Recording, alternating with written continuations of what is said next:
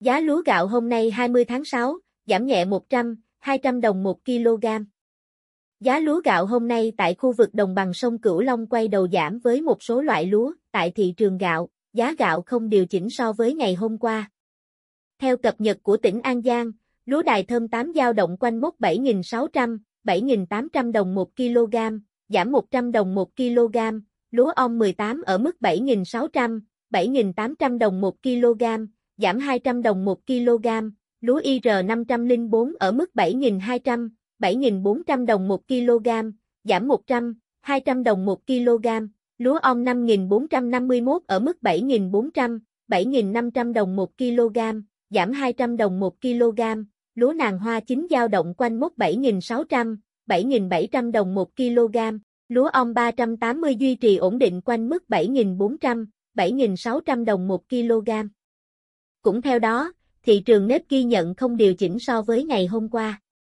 Nếp đùng 3 tháng, khô, giữ nguyên giá 8.800, 9.200 đồng 1 kg.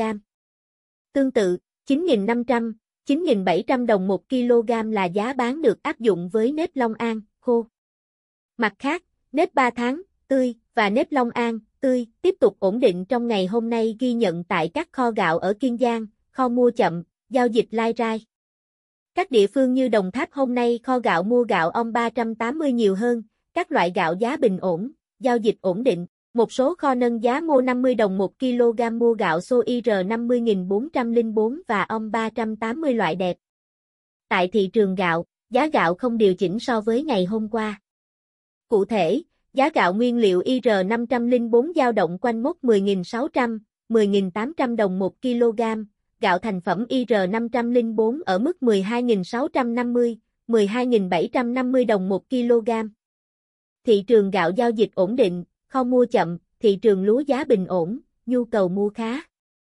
Tại các chợ lẻ, giá gạo có điều chỉnh.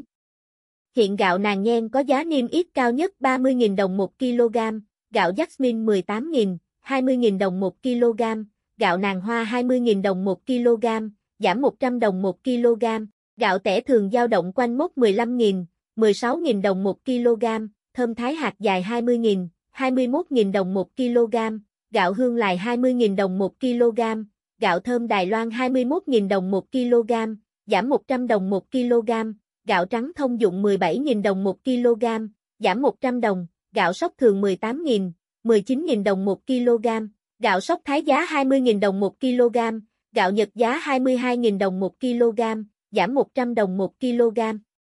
Với mặt hàng phụ phẩm hôm nay có điều chỉnh giảm.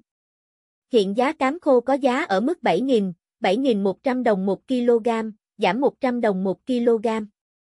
Theo đó, giá tấm IR 504 không điều chỉnh so với ngày hôm qua ở mức 9.700, 9.800 đồng 1 kg.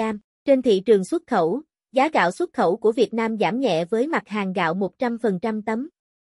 Theo Hiệp hội Lương thực Việt Nam, VFA, gạo 100% tấm hiện ở mức 473 đô la Mỹ một tấn, giảm 2 đô la Mỹ, gạo tiêu chuẩn 5% tấm hiện ở mức 570 đô la Mỹ một tấn, gạo 25% tấm ổn định ở mức 549 đô la Mỹ một tấn.